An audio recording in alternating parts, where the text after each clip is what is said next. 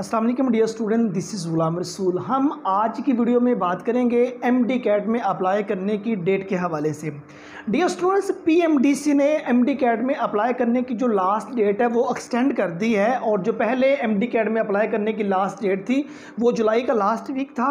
लेकिन अब वो डेट जो उनसे वो एक्सटेंड करके तीन अगस्त दो हज़ार तेईस कर दी गई है।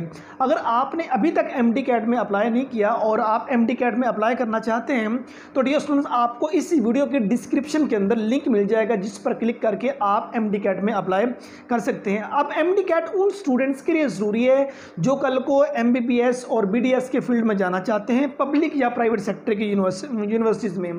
अब उन स्टूडेंट्स के लिए भी एम डी कैट लाजमी है, जो यूनिवर्सिटी ऑफ़ हेल्थ साइंस या उसके रिलेटेड जो इदारे हैं, उनमें जो चंद अलाइड हेल्थ साइंसेज कोर्सेज आ जाते हैं, जिनके लिए उन्होंने एम डी कैट लाजमी करा दिया है।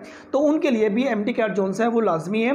तो सो एम डी कैट में अप्लाई आप डी स्टूडेंट ज़रूर कीजिए। अब जो एम डी कैट की डेट है, वो एक्सटेंड होकर तीन अगस्त कर दी गई है।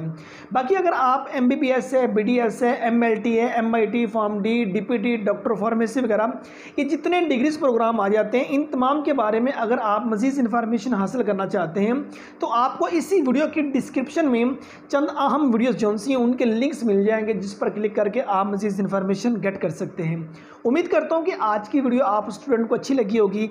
नेक्स्ट वीडियो में मिलते हैं। अपना बहुत सारा ख्याल रखिएगा। फ़ी अमान